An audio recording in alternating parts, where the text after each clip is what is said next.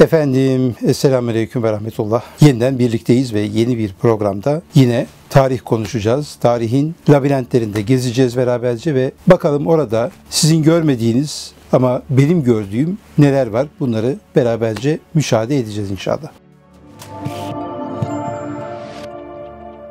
Değerli kardeşlerim, yalanın bini bir para. Ortalıkta bir sürü bilgi kirliliği malum. Hele hele bu internet çıktığından beri, hele hele sosyal medya icat edildiğinden beri ortalıkta çöp yığınlarından geçilmez hale gelmiş bir vaziyet var. Şimdi böyle bir ortamda tabii tarihin e, çok kolay suistimal edilebildiğini ve bir olayın çok başka yerlere çekilebildiğini sizler de müşahede ediyorsunuz. Bu siyasi tarih olduğu gibi sosyal tarih açısından da geçerli bir hüküm. Birçok izleyicim, birçok takipçim, birçok okurum bana çeşitli sorular soruyor ve bu soruların cevaplarını istiyor. Onlardan bir tanesi de 8 Mart Dünya Kadınlar Günü ve Türk kadınının seçme ve seçilme hakkını Atatürk tarafından kendilerine hiç ihtiyaçları olmadığı halde, hiç ihtiyaçları olmadığı bir zamanda adeta gökten zembille indirilmiş gibi bir lütuf olarak verildiğini, bunun doğru olup olmadığını soruyor. Doğru değil efendim. Eşyanın tabiatı gereği doğru olamaz zaten. İhtiyaç olmayan hiçbir şey tarihte gerçekleşmez. Tarihte bir şeyin mutlaka bir mantığı vardır. Sosyal mantığı vardır, siyasi mantığı vardır, beşeri mantığı vardır, iktisadi mantığı vardır. Her türlü olay bir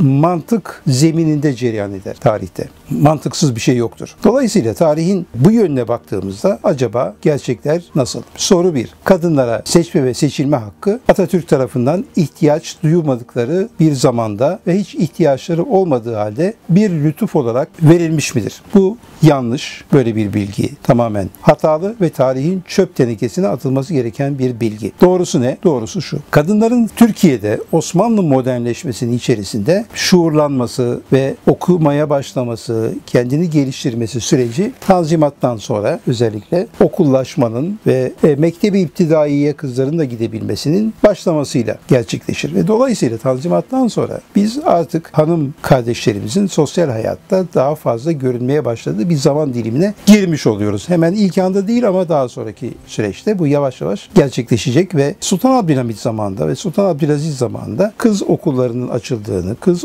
ilkokulu, kız ortaokullarının Sultan Abdülhamit zamanında da kız idadiyelerinin yani liselerin açıldığını göreceğiz. Dolayısıyla bir kere böyle bir gelişme var. Hatta 1914 yılında bir kadın üniversitemiz olduğunu bilen acaba Türkiye'de kaç kişi var? Kadın üniversitesi efendim. 1914 yılında İnas Darülfünun'u açıldı. Kadınlara mahsus bir üniversite açıldı. Bugün açmaya kalksak hemen ayağa kalkacak laik kesimin seslerini duyar gibi oluyorum. Çok garip bir şekilde 1914'te açılan kadın üniversitesi 1919 yılında İngilizler tarafından kapatıldı. İngilizler ve Fransızlar İstanbul'da işgalciydi ve işgalci güçlerin baskısıyla kapatıldı. Bugün açılsa kapattıracak olan laik kesimin ecdadı İngilizler, Fransızlardır. O zaman onlar geldiler ve İnas Darülfünun'u Kadın Üniversitesi'ni kapattılar. Bugün açılsa bugün de kapattırmak için sokaklara dökülecek olan o kesimin zihniyet olarak kökünün nasıl dışarıda olduğunu en iyi deşifre edecek olaylardan bir tanesi turnusol kağıdı gibi kadın üniversitesidir. Dolayısıyla Osmanlı'da kadının hiçbir hakkı yoktu, hiçbir şekilde sosyal hayatta yoktu, işte tamamen evine kapanmıştı, bütün hayatı kocasının iki dudağı arasındaydı filan. Bu martabalarla, bu yalanlarla büyüdük.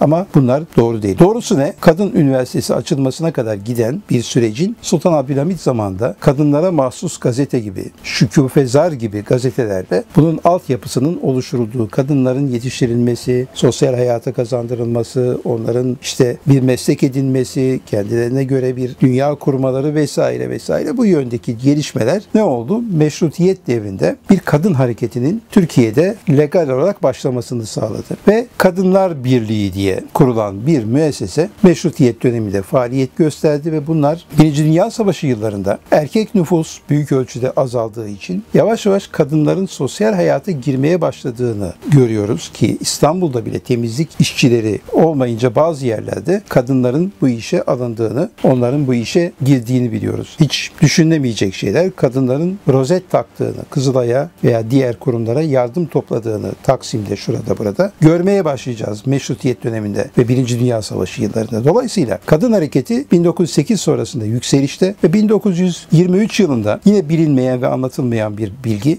bir kadın partisi kuruldu Türkiye'de. Türkiye Kadınlar Fırkası. Kadınlar Fırkası, Kadınlar Partisi kuruldu. Ne zaman? Cumhuriyet'in ilanından bir ay önce, Eylül ayında. Bunlar götürdüler. Bu Türk Kadınlar Birliği'nin meşrutiyetten beri gelen kadın hareketinin liderleri Nezihe Muhittin başta olmak üzere dilekçelerini verdiler. Biz bir Kadınlar Partisi kurmak istiyoruz. Kadın haklarını savunan bir parti kurmak istiyoruz dediler. Ve bu dilekçe Cumhuriyet'in kurulmasından önce verilen bu dilekçe Cumhuriyet'in kurulmasından sonra İçişleri Bakanlığı tarafından reddedildi. Böyle bir parti kuramazsınız. Cins ayrımına dayalı bir parti kurulamaz diye bizzat Cumhuriyet tarafından bu parti kapatıldı. Ve dolayısıyla bir kadın partisinin kurulması noktasına gelecek kadar yoğun bir faaliyet içerisinde bulunan bu kadınlar e, burada kaldılar mı? Burada pes ettiler mi? Etmediler. Peki kim söylüyor bunu? Mustafa Armağan söylemiyor. Bakın Cumhuriyet gazetesinin verdiği bir kitap var. Kemalizm sonrasında Türk kadını Doktor Bernard Caporal. Bakın Cumhuriyet gazetesi vermiş. Cumhuriyet gazetesinin verdiği kitapta bu kadın hareketinin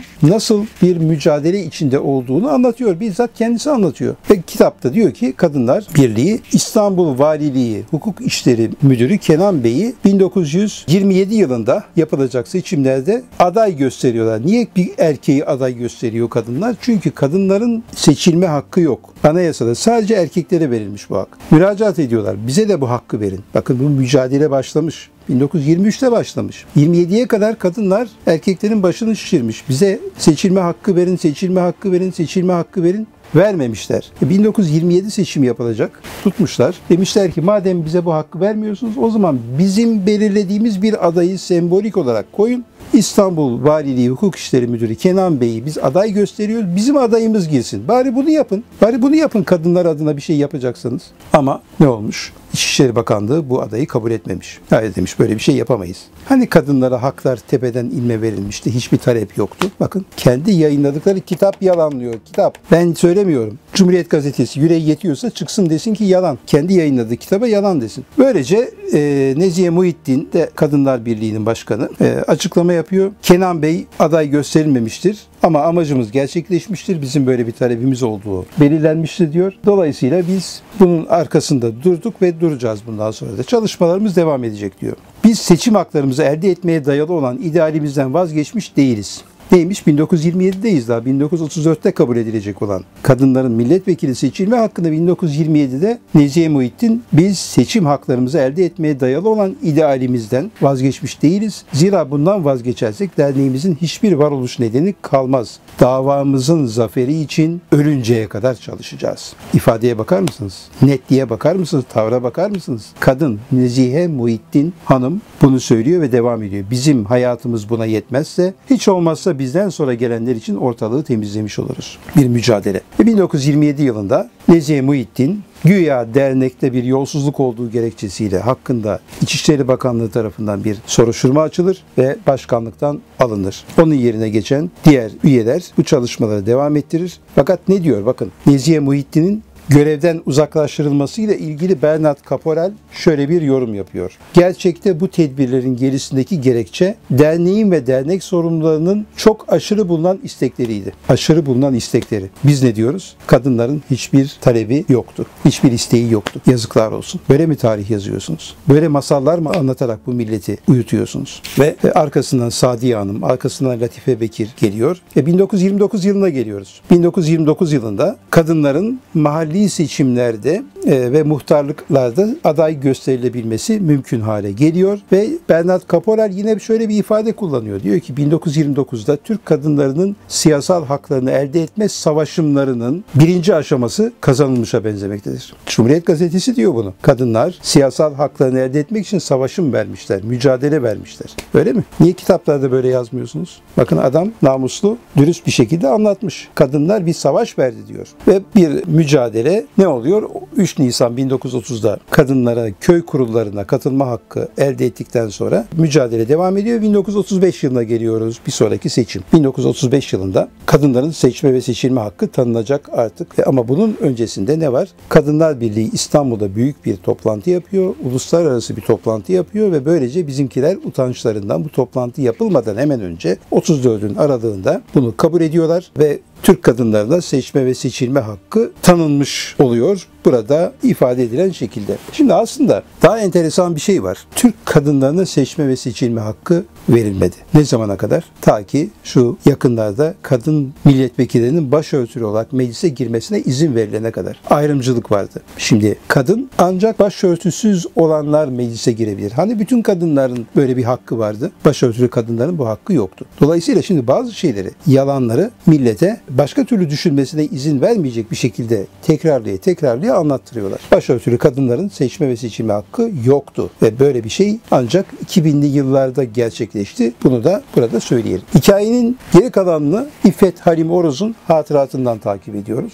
İffet Halim Oruz'un hatıratında ve o dönemin başka kadın sufrajetlerinin yani kadın kadınlara siyasal haklar verilmesini savunan bir takım önderlerin anlattıklarına baktığımız zaman kadınların artık burasına gelmiş. Niçin biz oy kullanamıyoruz? Bir. Niçin seçilemiyoruz? 2. Bu hususta Mustafa Kemal Paşa'yı gördükleri her yerde sıkıştırdı kadınlar. Toplantıda bir yerde kal. Niçin bize oy hakkı vermiyorsunuz? Niçin biz oy kullanamıyoruz? Niçin seçilemiyoruz? Paşam bunun sebebi ne? Erkekler kullanıyor biz kullanamıyoruz. Hani eşitlik vardı? Hani erkekle kadın arasında eşitlik vardı? Medeni kanunu eşitlik getiriyordu. Mustafa Kemal ne cevap veriyordu biliyor musunuz? Siz askerlik yapmıyorsunuz. Askerlik yapmadığınız için bir vatan vazifesini yapmadığınız için hakkınız da olamaz. Ancak askerlik yaparsa yaparsanız bu hakka sahip olursunuz. Her sorduklarında aldıkları cevap bu. Askerlik yapmıyorsunuz, oy kullanamazsınız. Seçme ve seçilme hakkınız olmaz. Kadınlar bunu sıkıştırıyorlar. Gittikleri yerde bir okula gidiyor. Okul müdüresi kendisine bunu söylüyor. Paşam bizim erkeklerden ne eksiğimiz var? Niçin bize bu hakkı tanımıyorsunuz? Neden bizim buradaki bir meslektaşım, öğretmen arkadaşım seçilebilirken, oy kullanabilirken ben kullanamıyorum diye bir müdire çok sert bir çıkış yapıyor. Ve İsmail Habib Sevü'nün anlattığına göre Ankara'da bir kız lisesine Mustafa Kemal Paşa gidiyor ve o kız lisesinde öğrencilere sorular soruyor. Bir öğrenci de diyor ki paşam ben size bir soru sorabilir miyim? Sor diyor. İsmi de Müjgan. Kalkıyor diyor ki paşam diyor biz neden oy kullanamıyoruz? Neden bize seçme ve seçilme hakkı vermiyorsunuz genel seçimlerde artık 1934'ün sonları. Kadınların burasına gelmiş artık. Patlama noktasına gelmişler. Neden bize seçme ve seçilme hakkı vermiyorsunuz? E siz askerlik yapmıyorsunuz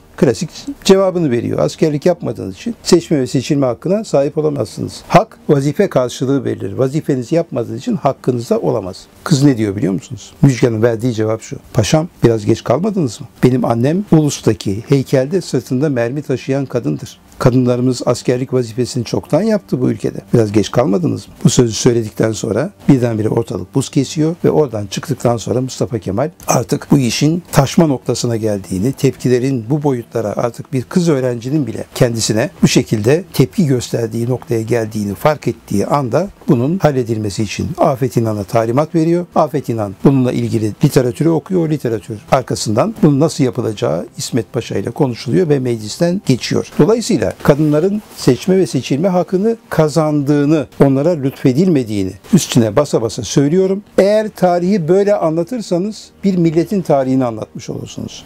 Ve bir milletin mücadeleyle bir hakkı aldığını söylemiş olursunuz. Ama tepeden inme ve lütfedildi. Hiç hak etmiyordu ama hak etmediği bir hak verildi diye anlatırsanız bu işte o kesimi, halkı, kadınları küçümsediğiniz, onlara tepeden baktığınız, onları adam yerine koymadığınız ve ancak devlet bir hak tanırsa kadınların bir değeri olabileceğini, kadınların hiçbir şekilde bir değeri olmadığını söylemiş olursunuz. Biz 15 Temmuz'dan beri bunu söylüyoruz. 15 Temmuz nasıl milletin bir zaferi ise ve milletin artık ben varım ve ben irademle devletimin arkasında duruyorum ve ona destek veriyorum. Hatta gerekirse onun için canımı veriyorum dediği bir süreçtir. Artık bundan sonra halkın dediği olacaktır ve halkın tarihinin yazılma zamanı gelmiştir. Sosyal tarih bunun için vardır. Devlet eksenli tarihten halk eksenli, millet eksenli tarihe geçmemiz gerekir. Bu arada son bir düzeltme yapalım. Bir başka yalan da bu. Avrupa'da birçok ülkeden önce ifadeye dikkat edin. Atatürk kadınlara seçme ve seçilme hakkını tanıdı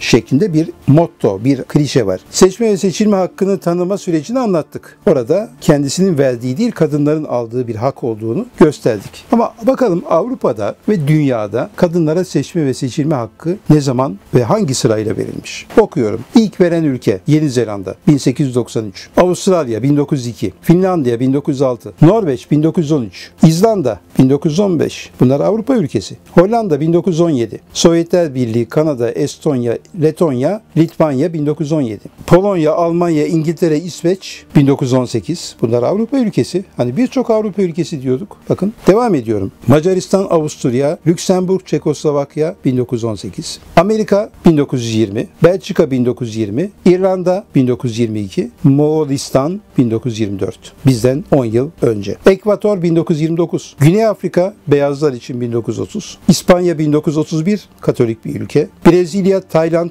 1932 ve Türkiye Küba ile birlikte 1934. Bizden sonra Avrupa'da sadece Fransa ve İtalya 1945'te, e, Yugoslavya, Romanya 1946'da, Bulgaristan 1947'de veriyor. Belçika 1920'de veriyor ama sonra geri alınıyor 1948'de. Yapıyor. Arnavutluk 1948, İsviçre 1970. Peki İsviçre neden 1970'te verdi? Niçin? Şimdi İsviçre'den biz ileride miyiz? Hukuklarını aldık ya. Bizden daha iyi olduğu için, bizden daha üstün oldukları için hukuklarını aldığımız bir ülke, o çok beğendiğimiz, bayıldığımız medeni kanunu aldığımız ülke kadınlara seçme ve seçilme hakkını 1970 yılında verdi. Bizden daha geriydi değil mi? Üçüncü dünya ülkesiydi İsviçre. Niye vermedi? Bunu Ali Fuat Başkil İsviçre'de hukuk okurken bir ailenin evinde kalıyor. Kadın avukat, kocası profesör. Diyor ki niye kadınlara seçme ve seçilme hakkı vermiyorsunuz? Neden bu hususta bir adım atmıyorsunuz? Kadın diyor ki ya ne gerek var diyor. Bir evde zaten hangi partiye oy verileceği bellidir. Kocayla karı aşağı yukarı aynı partiye oy verir. Ha binde bir karı farklı partiye oy verir ama başka evlerde de başka istisnalar vardır. Bunlar ana neticeyi, büyük tabloyu değiştirmez. Dolayısıyla biz kırtasiyeyi artırmamak için hane başı bir mantıkla bu uygulamayı yapıyoruz. Kadınları küçük gördüğümüz için değil. Dolayısıyla bunun büyütülecek bir tarafı yok. Neticede bir evin kararı, siyasi kararı bellidir. Biz de bu mantıkla gidiyoruz. Ha erkeklere verilmeseydi, kadınlara verilseydi o da bizim için makbuldü. Profesör erkek diyor ki doğru ben çok meraklı değilim oy vermeye. Benim yerime karım versin, benim hakkımı ona verin. Yani fark etmez diyor. Şimdi bu mantıkla baktığımız zaman aslında İsviçre'nin neden bu kadar geç verdiğini tamamen pratik bir açıklaması var. Eğer İsviçre bizden bu kadar geridiyse hukuklarını niye aldık? O berbat hukuklarını niye aldık? Medeni hukuk diye başımızın tacını yapıp Türk Medeni Kanunu diye bir de Türk ekledik ona. Türk olmadığı halde. Hem hukuklarını al hem de bizden sonra aldılar diye. Bunu Ali Fuat Başkil işte Cumhuriyet tarihinin neden parçalı bölük pörçük anlatıldığını bir başka çarpıcı bir misali. Dolayısıyla değerli kardeşlerim kadın hakları meselesinde ve kadınlara siyasi hakların verilmesi meselesinde birçok yalan ve yanlış bilgi empoze ediliyor. Daha ilkokul sıralarından itibaren bu yanlış bilgiler bize aktarılıyor. Bunların doğrusu işte bu tip araştırmalarda ve o araştırmaları biz buldukça sizlerle paylaşıyoruz. Doğrularını anlatmaya gayret ediyoruz ve edeceğiz de bundan sonra. Kimse bizi susturamayacak. Kusura bakmasın. Artık susma dönemi geçti. Konuşma dönemi gerçekleri belgeleriyle, bilgileriyle kamuoyuyla paylaşma dönemi başladı. İnşallah bu yolda da devam edeceğiz. Başka bölümlerde buluşmak üzere. Hoşçakalın efendim. Allah'a ısmarladık.